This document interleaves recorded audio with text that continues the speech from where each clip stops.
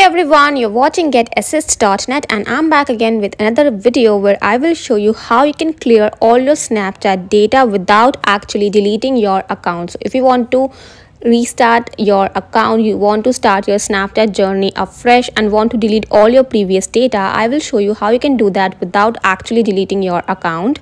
So let's start the video.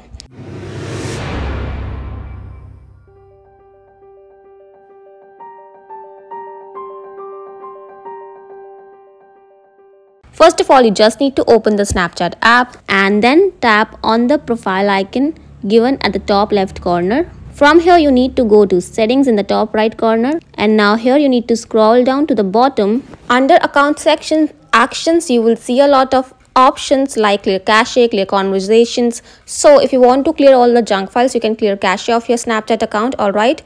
And if you want to clear all the chats that you have done till date, you can simply clear all your conversations from here.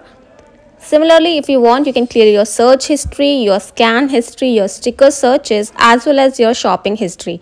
So these are all the options that you can do to clear your Snapchat data. Apart, apart from that, you can even go back.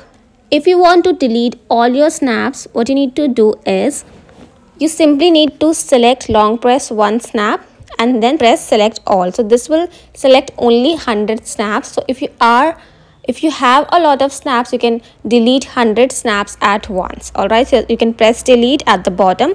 That's how you can step by step clear all your snapchat data without deleting your account. So yeah that was it for today's topic. I hope you found this information helpful. And if you do do subscribe to my channel for more informative and useful tutorials and if you have any suggestions for my next video do let me know in the comment section down below. And for now i will take the leave. We'll see you the next time